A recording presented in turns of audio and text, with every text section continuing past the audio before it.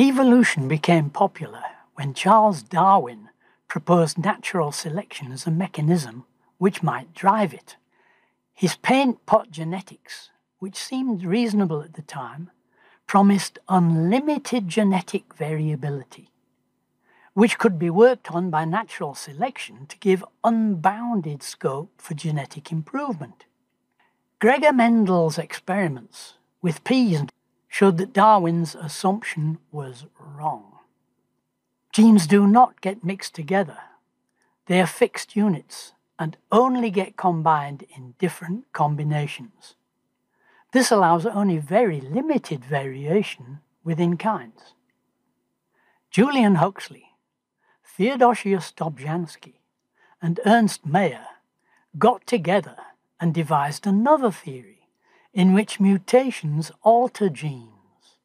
This reopened the door for infinite variability, which Mendel's experiments had slammed shut. Their idea is taught as being the true and definitive theory of evolution. Julian Huxley defined evolution in Evolution and Genetics. Evolution is a directional and essentially irreversible process occurring in time, which in its course gives rise to an increase of variety and an increasingly high level of organization in its products. Our present knowledge indeed forces us to the view that the whole of reality is evolution, a single process of transformation. Sounds wonderful. Everything just gets better and better all by itself, from simple to complex, and it looks as if the sky's the limit. We just have to let it happen. But there's a problem. It's called the second law of thermodynamics. The second law says that when things are left to themselves, they become more and more disordered. Things left to themselves go from good to bad and from bad to worse. Anything left to itself will never get more ordered, more complex, never.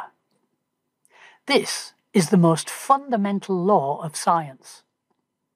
One of the most famous scientists of the last hundred years, Sir Arthur Eddington, wrote one of the most famous statements about science ever made.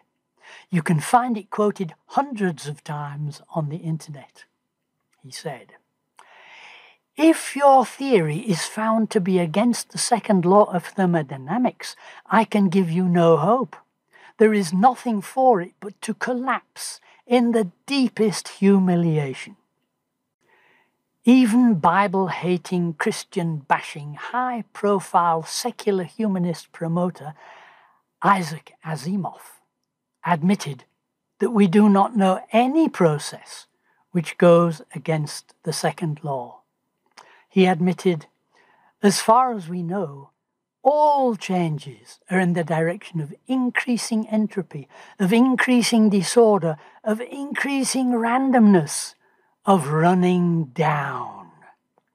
In that case, with evolution requiring everything to happen exactly as the second law says it cannot happen, how come evolutionists have not just given up and admitted it's impossible? Evolutionists claimed the second law did not apply to them.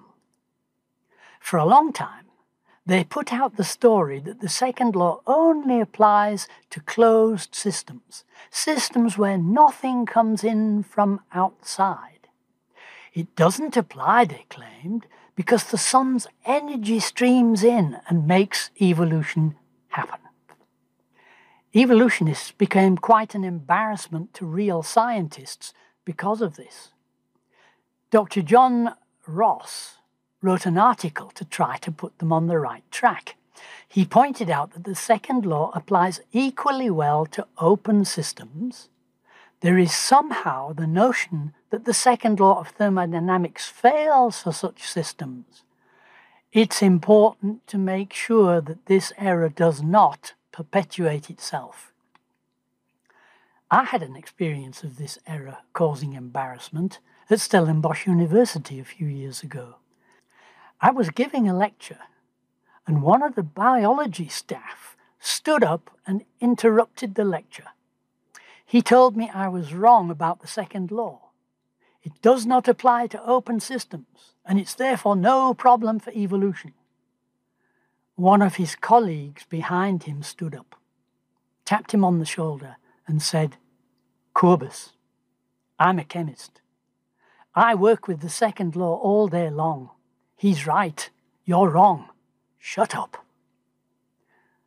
There's a website, Encyclopedia of Human Thermodynamics, which lists 20 different theories that evolutionists have put forward to try to get round the second law.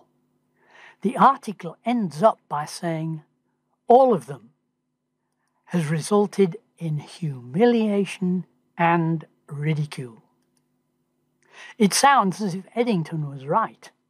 If your theory is found to be against the second law, I can give you no hope. There is nothing for it but to collapse in the deepest humiliation.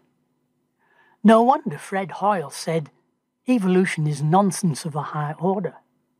No wonder Louis Bounoure said, it's a fairy story for grown-ups.